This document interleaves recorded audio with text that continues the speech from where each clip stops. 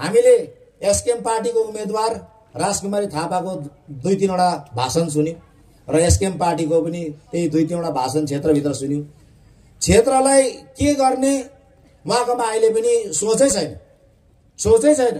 पन्ध्र राङ्गाङ याङ्गाङलाई के गर्ने भनेर राजकुमारी थापा र एसकेएम पार्टीलाई अहिलेसम्म एक लाइन कसै बोलेको छैन। खालि भोट माग्दैछ पिएस गोलेलको अनुहार हेरेर भोट दिनु अरे। आरके बस्नेतलाई पनि हेर्नु भन्दैछ उहाँले अब हेर्नुहोस् है। आरके बस्नेतलाई पनि हेरेर भोट दिनु अरे हेर्नुहोस्। यो के खालको प्रचार हो यो?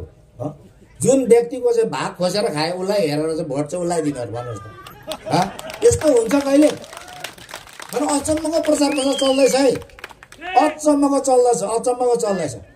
आरके बस्नेतको भाग खोसेर लग्यो अन्त अहिले भोट चाहिँ आरके बस्नेत हेरेर उसलाई दिनु अरे मैले मरिगएँ मरिगएँ मरिगएँ क्या र यस्तो व्यक्तिहरू छ है अनि एउटै कुरा डह्रो भने जेरक्स मिसिन दिन्छ भन्छ क्षेत्रमा जेरक्स के गर्नु होला जेरक्स मिसिनले त?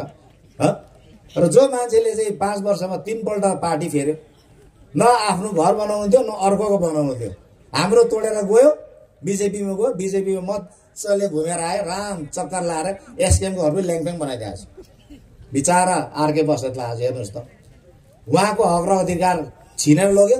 र आज भन्छ कि उहाँलाई हेरेर भोट चाहिँ उहाँलाई दिनु अरे। यस्तो कहिले हुन्छ यो? यस्तो हुन्छ?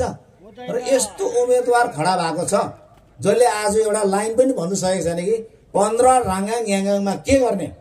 पन्ध्र ऱ्याङ्गाङ याङ्गाङमा मैले बितेको पाँच वर्षमा के गरेँ? पत्तो छैन एक लाइन बोलेको छैन? र अब के गर्ने? आउने इलेक्सन जितेर म के गर्ने? त्यो पनि छैन। अनुहार अर्को हेर्नु अरे भोट चाहिँ यता हाल्नु भन्छ। अब जनता त यति लाटा त छैन होला म्याडम? जनताले सब जान्दछ र जनताले सब कुरा बुझ्छ? र पन्ध्र राङ्गाङको जनता यति लाटा छ? लाटा छैन नि। र एसकेएम पार्टीको कार्यकर्ताहरूसँग म धेरै चिन्छु। मेरो कुरा हुँदैछ।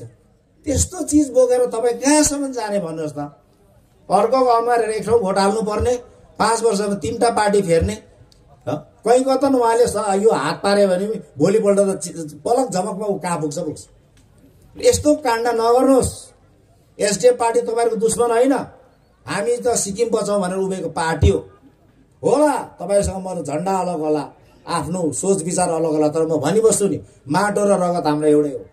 Welcome to SDF party. आउनु सिक्किम हामी बचाउँ यस्तो खालको रातो रातमा आज बेलुकासम्म बिजेपी थियो। भोलि बिहान एसकेएमबाट टिकट पनि लिएर गयो।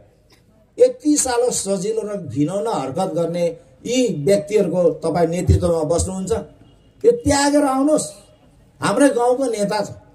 र एउटा प्रोग्राम र भिजन लिएर हामी एसडिएफ पार्टी तपाईँहरूको अगाडि उभिएको छौँ। यस पार्टीलाई तपाईँले स्वागत गर्नुहोस्। हाम्रोमा भिजन छ हाम्रो मिसन छ ल हामीले सरकार चलाएर देखाएको छौँ। अब पनि चर्काउने सरकार चलाउने योजना हामी तपाईँहरूको राखेको छौँ।